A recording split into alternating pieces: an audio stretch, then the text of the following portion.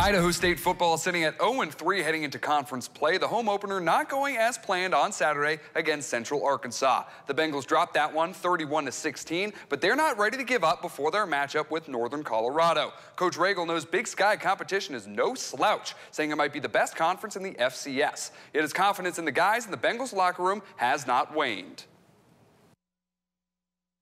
The message is win and win now. You know, are we capable of that? I think we are. Um, you know, how many the, how many games I've said I don't know, but I know if we go out and play our very best, just a little cleaner than we did in the San Diego State, same effort, score in the red zone when we were down there, clean those issues up. We can compete in every single football game the rest of the season. But again, as you saw on Saturday, that that's easier said than done.